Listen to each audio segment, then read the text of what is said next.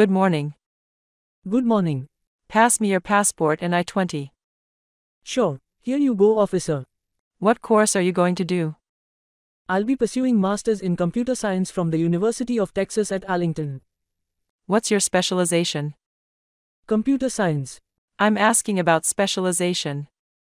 Machine Learning. What is machine learning? Machine learning is a type of artificial intelligence that allows computers to become more accurate at predicting outcomes without being explicitly programmed to do so. And we achieve this by training. I am approving your visa. Thank you, officer. Have a good day. You too.